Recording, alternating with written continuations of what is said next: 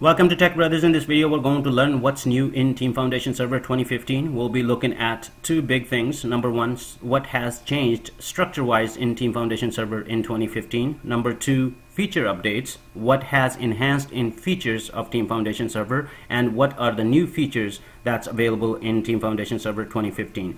My future plan is that I'll be covering each feature in a separate video where I will use that feature from the scratch as well as I'll cover all the updates that's available in uh, TFS 2015.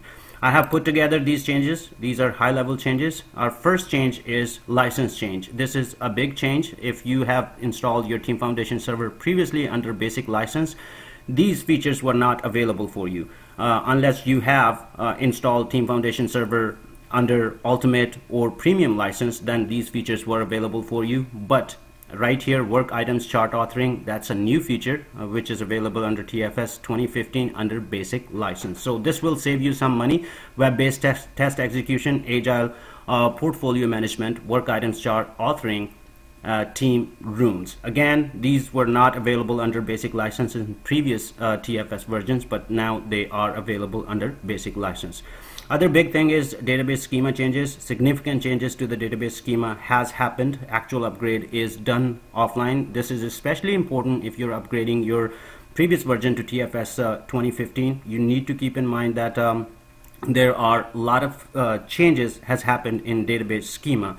Uh, especially one thing that uh, um, SQL Server 2008 is no longer supported with Team Foundation Server 2015. If you're looking to upgrade Team Foundation Server um, from your previous version and you're using SQL Server 2008, you need to upgrade your SQL Server before you can upgrade the Team Foundation Server. And um, uh, upgrade takes a long time, uh, but uh, the good thing is that a certain time consuming task can be completed when TFS is online and that will decrease your outage as far as Team Foundation server goes. Upgrade wizard available to upgrade from 2013 to 2015. This is when you try to upgrade from 2013 to 2015 and it, it detects that 2013 is uh, already installed. It will pop the upgrade wizard automatically and you can take it from there.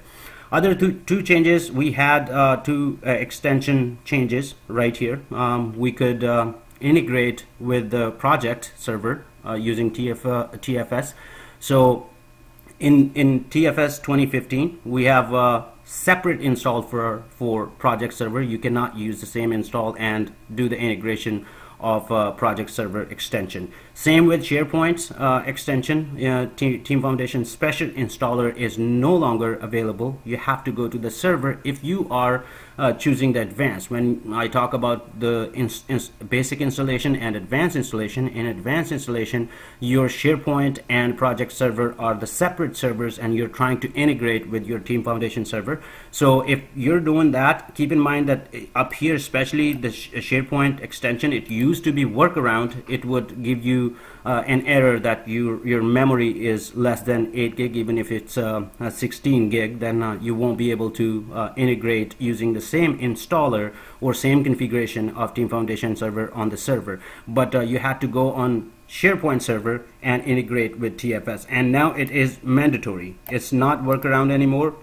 They have taken the TFS installer out and you have to go to the SharePoint server and use the Team Foundation server installer there in order to configure your SharePoint uh, integration with TFS. So uh, these are basically for the administration part of uh, Team Foundation Server 2015. Uh, these things are really important to look at if you are upgrading or if you are going to install Team Foundation Server 2015.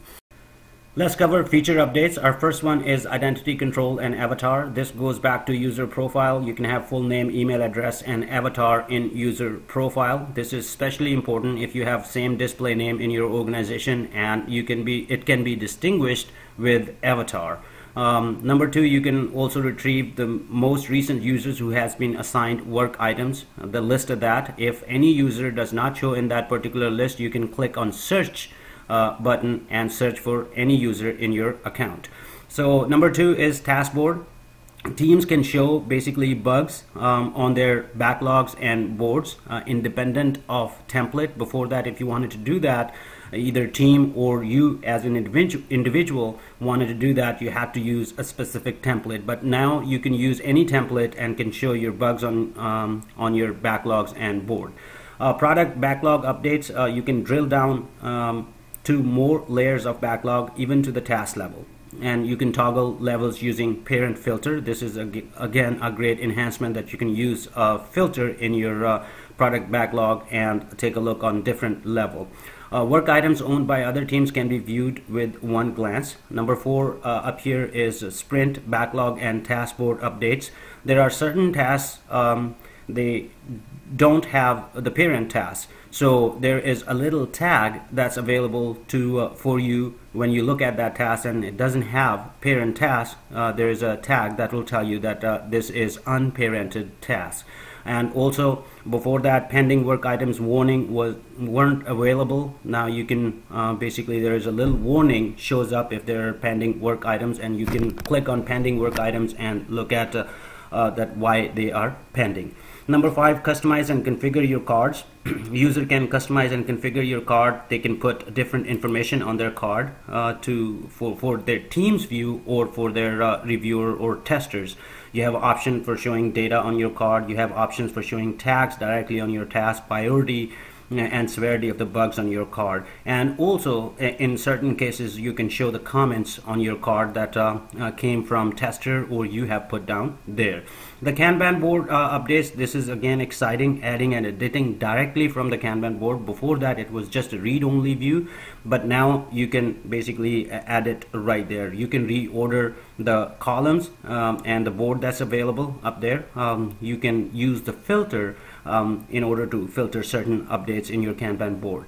New feature uh, is added in Kanban board, um, which is called um, split columns um, and it has basically uh, two sections. One is doing section and other is done. If you are working on a specific task you can put it in a doing section. And if you are done with the particular task you can put it in done section. That way your teammate would know that uh, their work has been started or they're supposed to start their work because you are done with your work. You can use um, anyway these two uh, particular um, doing and done sections.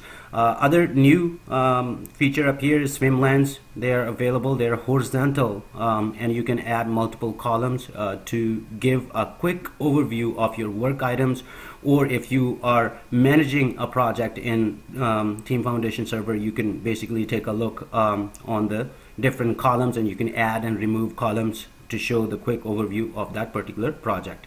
Number seven up here, turn off the first column on CFD chart. This is uh, again big. Before that, if you couldn't turn off the first column and it would load all your uh, backlogs and it would take time to show you the chart. Now you can go ahead and omit first column in CFD which shows the long backlog and uh, uh, by default it's still enabled you can mm, go and edit and uh, uh, unselect uh, the first column that would show only the active items in your chart and again this is a, a good enhancement Next is a Scale Agile framework built-in support is available now. Uh, there is a new work item added in Team Foundation Server 2015 called Epic Work, uh, and it has uh, two types. One is architectural, and other is business. So if you're working on any feature or any project that is basically architectural, as far as the TFS goes, um, then you can put it epic item architectural if there are changes that you need to do that is, uh, business requires that you can create epic work item called business. So um, process template renamed. Before that uh, you were not able to uh, rename your template because a lot of things were dependent on that particular template. Um, now it is locked. However you can import export using template manager and customize your process template. Uh, current iteration query, this is again the big one. If you have created a query uh, to uh, retrieve certain information in your uh, Team Foundation server and a new iteration is added, you had to change your query in order to get the information about the new iteration. But now this is auto update. Uh, one limitation there is that uh, it doesn't really work with Excel. So if you uh, have Excel work items and you uploaded that, that's uh, uh, your iteration will, uh, the query token will not work with Excel. Query progressive uh, disclosure. Um, now, if you take a look on the query, uh, there is there are options that you can have the query and click on the work items, and it'll bring bring you uh, certain information back. Now it will bring just the two levels. If you have multiple levels of your uh, uh, query uh, information that is being retrieved um, with your query, it will only bring the two levels and other is on demand. If you wanted to look at the further levels, you can click and it's on demand. Uh, this goes back to the performance. Uh, before that, if you click, if you have a long query, if you are loading uh, a huge uh, query and it's bringing a lot of data, you have to sit and wait for it to finish before you could take a look on the data. But now it takes uh, just the two levels and show you the data and rest it will um, uh, be dependent on your input. So you have to click and go to the other levels. Um, branch policies, there are a lot of changes happened in uh, Git repository branches. You can basically define policies on um, uh, Git repository and certain policies are right here, the gated build. If um, you can define a policy that uh, the build has to be successful if uh, anybody else wanted to uh, commit their changes in your uh, particular branch. And same with code review, uh, you can select a code reviewer and if that uh, uh, code reviewer hasn't approved that particular change, then it cannot be committed. By the way, this is optional. If you um, you can uh, just uh, select that it's, it's okay if the review is not done, I still wanted to commit. It will commit. However, it will give you the warning that uh, the the review has not been approved so it is not a good idea to commit your changes to the branch. But uh, however it will let you know that uh, you know uh, this is great to, to have that. Branch history history has uh, the history tab in team foundation server 2015 is enhanced a great deal.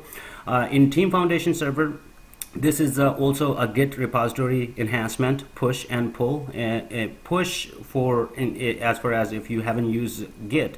In team foundation server push was uh, check in and pull is checkout so when we talk about the git repository it is push and pull instead of check in and check out. So you can look at the push and pull history just exactly like you could uh, uh, take a look on team foundation server um, check in and check out. Uh, web history view. Um, before that, on web access, if you um, if you take a look on web access of Team Foundation server, the history tab was not available. You uh, now, if you open um, web access of Team Foundation server 2015, the history tab is available. You can click on the folder. You can uh, click on the uh, different um, work items and right click and look at the history. So this is a great enhancement as far as history goes. You can take a look on history. Um, the build automation system this is uh, we can't really talk about it unless we do it. So when we do the demo we'll cover the build automation system. There are enhancements great enhancements in build automation system. You can have your test um, all the tests you can create and you can automate your test and we will do that uh, when we will do our demo Next is a team project rename. This um, this wasn't possible before, but now you can rename your uh, project and all the um, folders and um, your iteration and work items will reflect the new team project and the old team project will be saved as a history if you wanted to revert to old team project you can select from the history so this is again a great feature right here REST API JSON support is available to integrate TFS with external devices and those external devices are such as Windows iPhone Android um, Node.js they, these are um, the external system that uh, uh, TFS wasn't able to integrate before, but now it's available. But how we uh, make this REST API work, we have service hooks. So integration TFS with external devices such as iPhone and Android is done via service hook. So any changes, uh, we can create different service hooks and any changes that Team Foundation Server, um, if you do in Team Foundation Server, uh, your um, uh, iPhone or Android or all the external devices um, applications that's using they will recognize that and subscription just like email if something changes and you have a subscription that uh, if this changes I, I need to uh, know that. And you send an email this is exactly like that in Team Foundation server. You can create a service hook and it will show in your uh, application on your iPhone and you can whether accept it or deny it. Um, there's a lot of uh, improvement in merge performance. Um, uh, before that, uh, if you wanted to merge a lot of changes, uh, it would take time, but now it's improved. Also, the cloud-based load test, uh, you can use your on-premise, and if you wanted to run your uh, load test on Microsoft Azure, you can do that. And again, this was a quick overview of new features, um, updates, and as well as enhancement in the features. There are some new features that, that are uh, really great to use. And we will take a look again in detail when we will uh, use these feature in each separate video from the scratch, as well as we will use all the updates that's available. I hope this helps.